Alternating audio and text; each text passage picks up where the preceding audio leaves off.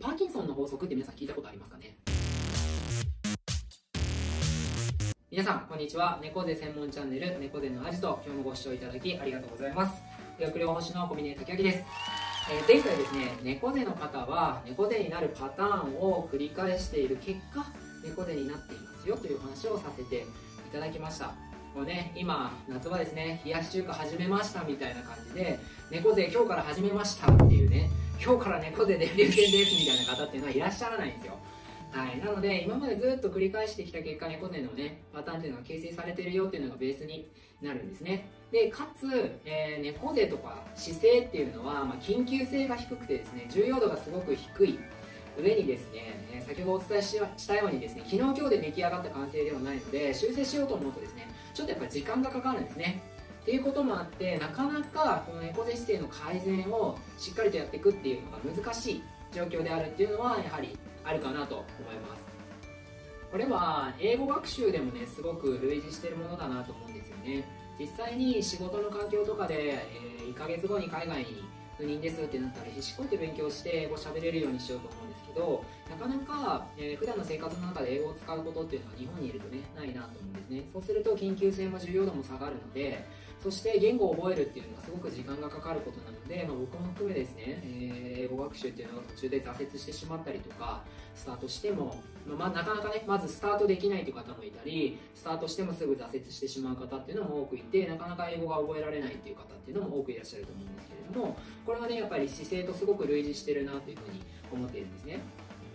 ただ英語よりも猫背改善の方がですね比較的容易にできるかなというふうな印象を僕自身は持っています。というのも昔僕自身が猫背ですごく肩こりだったり腰痛に悩まされていて実はいろんな膝の痛みだったりとか一時は腰椎椎間板ヘルニアになったりとかっていうのでいろんなこうあの不調をね、えー、感じながら生きてきたっていうところで今の体の状態を改善しようっていうので、まあ、ある人との出会いがあってですねすごく自分の体質を変えていこうっていうふうに思えて今の状態っていうのを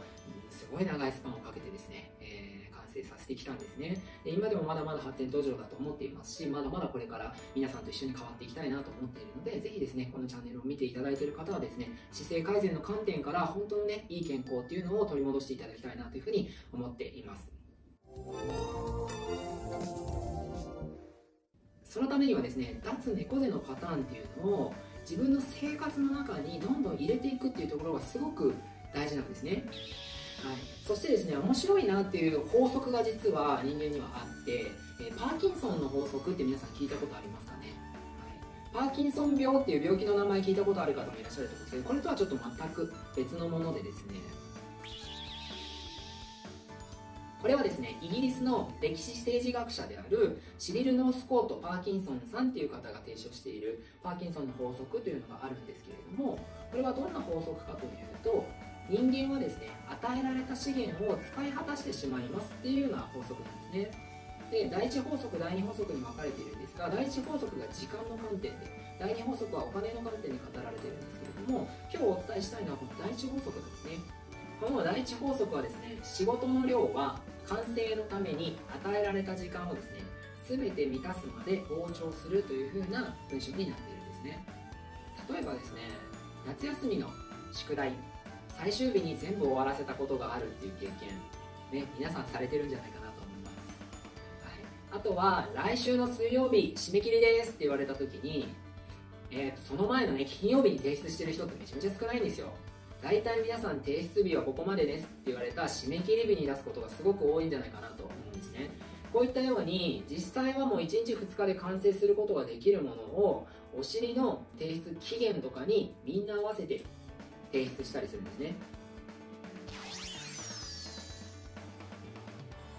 なのでまずは猫背解消するっていうふうに決めた時には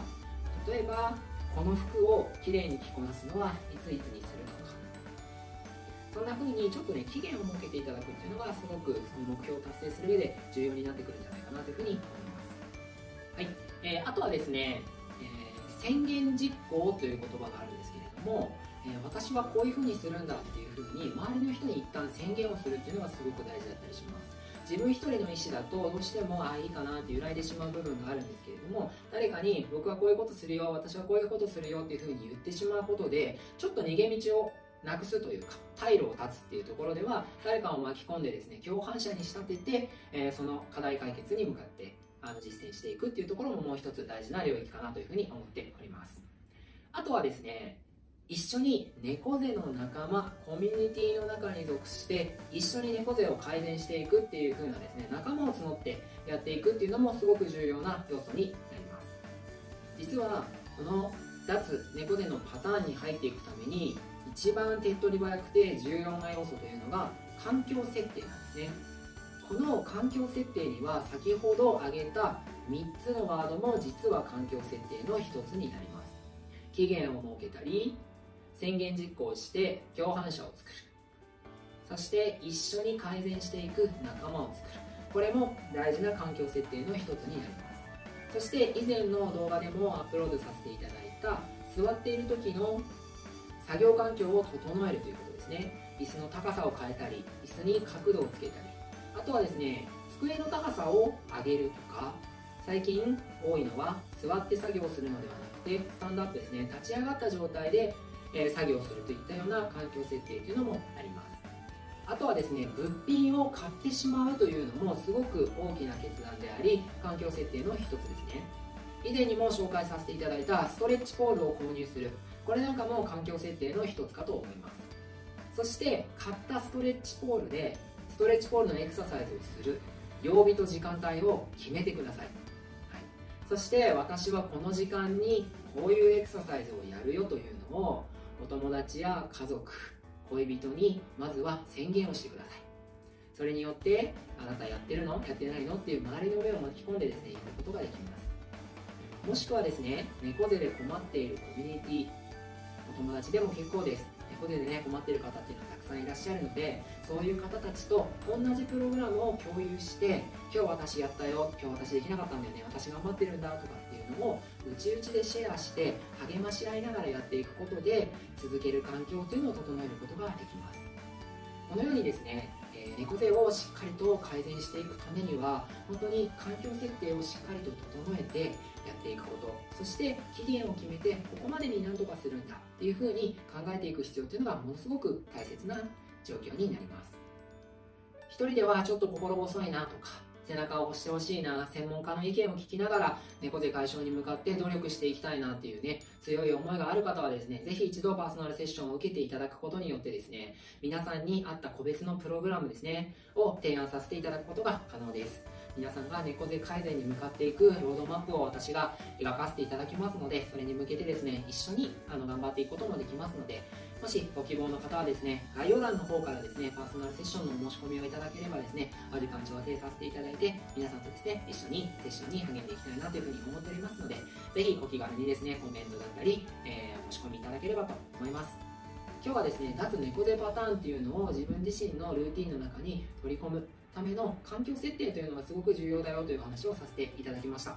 この環境設定というのは物理的な椅子の高さや机の高さだけではなく、えー、誰かを巻き込むとか物を購入するとか、えー、そういったですねいろんな視点での環境設定というところが重要になってきます。なのでしっかりと期限を設けてそれに向けた努力っていうのをしていっていただければと思います。今日の動画が参考になったよという方はですねぜひ高評価ボタンを押していただいて、今後も猫背に特化したですね健康情報を発信していきますのでぜひチャンネル登録を忘れずにしていただけると嬉しいなと思っております。それでは今日の動画はここまでにさせていただきます。また次回お会いしましょう。ありがとうございました。